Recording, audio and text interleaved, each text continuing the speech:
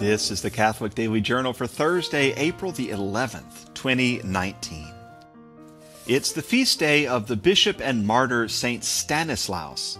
He was bishop of Krakow in the 11th century, and he was one of the very earliest, but not the first, native Polish bishops. He was also a ducal advisor and did the legwork to get papal legates to the Polish court.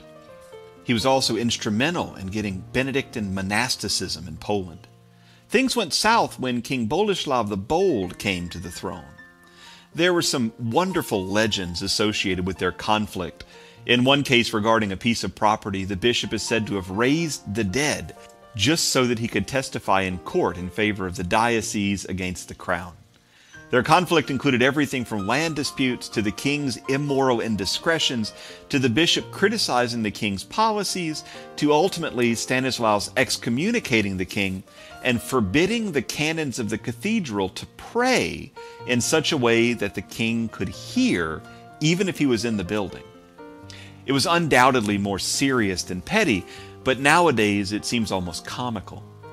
After the king ordered the execution of the bishop, no one had the guts to do it. And so the king himself went up to Stanislaus while he was offering Mass, standing at the altar, and struck him down. Ultimately, this caused such outrage that the king had to flee his throne, and he died in self imposed exile in Hungary. Today in 1961, the trial of Adolf Eichmann began.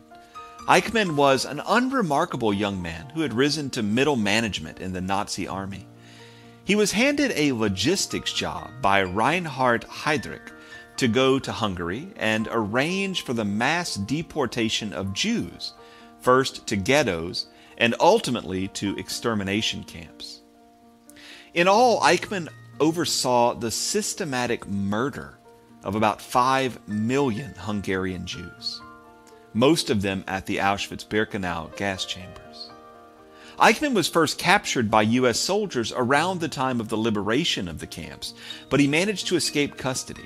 He evaded recapture and made his way to Argentina, where he lived as Ricardo Klement, a name implying mercy from guilt, for a further 10 or so years until the Israeli Mossad found him and arrested him. He was tried before a special tribunal in Jerusalem and the proceedings were televised and observed worldwide.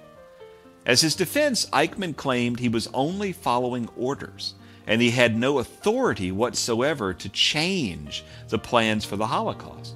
He was just the logistics man.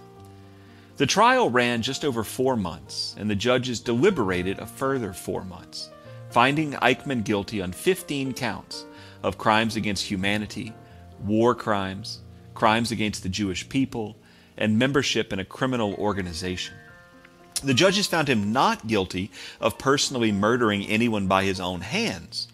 But like the Nuremberg trials, Eichmann's trial was about more than the man and his particular crimes. Today in 1970, astronauts Jim Lovell, Jack Swigert, and Fred Fredo Haise suited up and entered the command module for the Apollo 13 spaceflight under flight commanders Gene Kranz, Glynn Lunney, Milt Windler, and Jerry Griffin. About 56 hours into the flight, a faulty wire caused an explosion in an oxygen tank, and that changed history. The crew and a huge ground team worked around the clock for the following three days to get the men home safely. Apollo 13 didn't get to the moon, and none of those astronauts ever went to space again. They spent five days, 22 hours, and 54 minutes on board Apollo 13.